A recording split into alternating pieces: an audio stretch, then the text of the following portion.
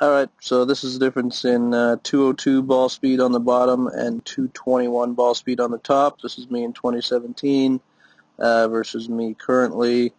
Uh, one difference here is that I'm swinging a 48 inch driver in the top one and a 45 inch driver in the bottom one. Um, just having trouble uh, get, getting any uh, speed gains with the 45, 48 inch, so I've been swinging the, the shorter one here. But so we already know what uh, what happens on the takeaway.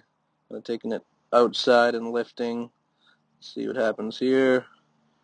Boom, that's a beautiful core connection here on the on the backswing. Like that a lot. Okay, we'll waist high there.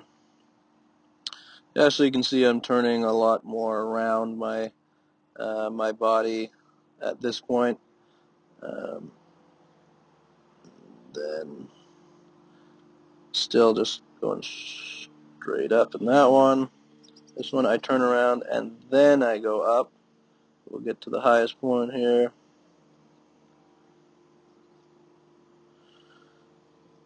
Okay, so it looks like uh,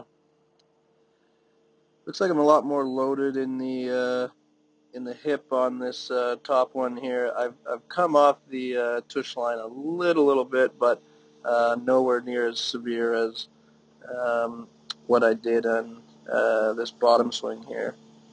So I'm into my toes and lifting as opposed to, uh, you know, that core connection and turn. Let's go to the first engagement with the ground here.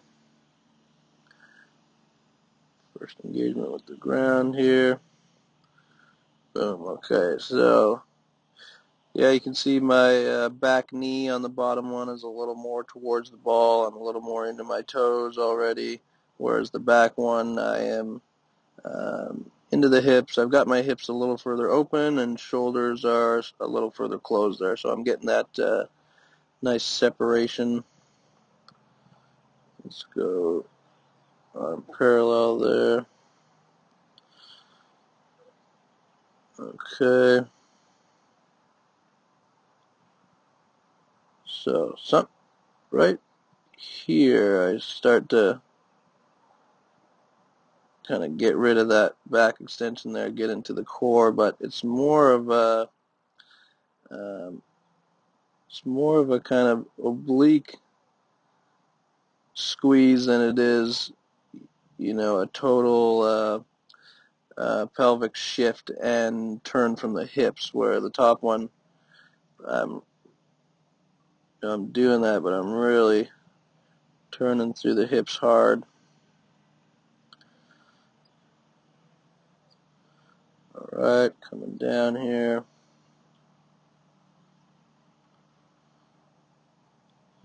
So here, similar positions, but uh, I'm a little further back in the hip in the top one. Um, I've got, you know, it looks like I've got you know, a little more power from the ground on that back foot, and I'm rotating around my right foot as opposed to just kind of getting up onto the toes. Down in the impact here. You can see I'm turning really, really hard here through impact. Everything's staying a little bit, you know, pretty level. And this one here, you know, I'm just kind of on the toes and you know, it's pretty square there post post impact, but right after that, you can see that flip. Whereas this one, I'm just completely